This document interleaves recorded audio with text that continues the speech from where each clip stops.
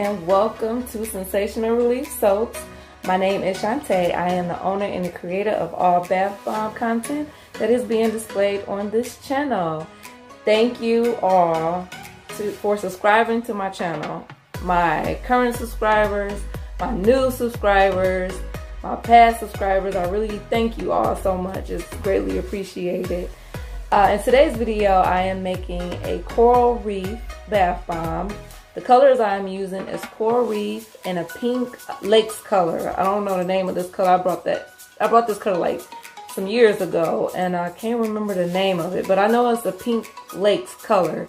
So I've seen these two colors together, and my color being, I was like, you know what? I actually want to make something using these two colors together, and that's when I actually came up with Coral Reef Bath Bomb because the fragrance oil that I'm using is Coral Reef when the color that I'm using is Coral and with the pinks uh, lake coloring. So I hope you guys all like this video. If so, please give it a thumbs up.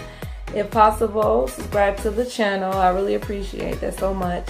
So without further ado, let's get started.